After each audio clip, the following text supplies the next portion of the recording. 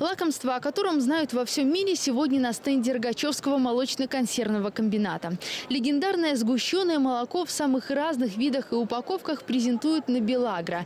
Здесь же молоко обычное, питьевое, вкус которого тоже знаком многим.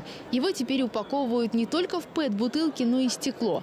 Комбинат единственный в стране решил вспомнить советскую романтику и заодно быть в тренде. Кроме экологии, здесь заботятся и о здоровье. Всю продукцию делают под знаком высокого качества.